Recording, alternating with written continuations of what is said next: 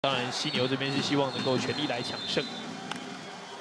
这个球结果是打到在一垒边线的一个界外飞球，结果林奕泉成功的接到，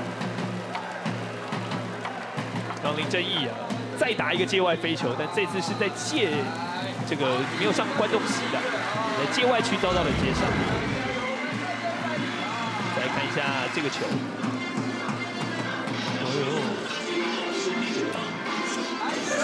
摄影师，